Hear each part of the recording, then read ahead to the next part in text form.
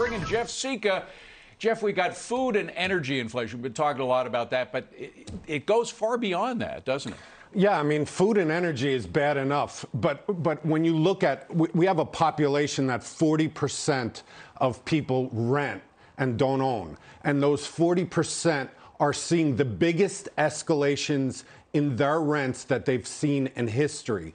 And what's happening is because we have all this inflation, uh, there's not a lot of construction. So you look at big markets like New York, San Francisco, Los Angeles, Miami, you look at big markets, supply is off by about 85 to 90 percent pre-pandemic, which means you have a lot of people that that that want apartments and not a lot of apartments. I didn't do really well in economics in college. I don't even think I passed it, but I know the rule of, of supply and demand. There's a ton of demand, not a lot of supply, and that's allowing markets like New York, for example, which was in the doldrums during the pandemic, is now at rents are higher in New York now than pre-pandemic. It's because of supply. Now, the the other side of this coin is that, as usual, politicians are overreacting right. and and coming up with these no eviction laws. Right. That is to say, if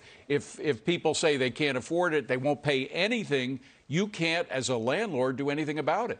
Right, and, and, you know, I, am a developer, and one of the things I don't, I don't want to tell people I'm a developer because a lot of people hate developers, especially certain politicians, and politicians that are saying, "Well, we can't have evictions, or we're going to build a lot of a, a lot of low-income housing." There's a problem with that because we are in a business, and we want to build and we want to provide houses, homes, and apartments for everybody. But when you tell people they don't have to pay for your prod product. They could live there for free and nobody's going to do anything about it. You're going to have a lot of people that, a lot of developers, a lot of uh, uh, construction co companies that are just going to sit on their hands and say, why bother? Why spend all this money when we're going to build a product that the government is going to allow people to get for free? So where does all this end? I mean, the, the fact is New York has this terrible, as a lot of cities do, terrible crime problem. We still have vaccine mandates in, in some form here in New York.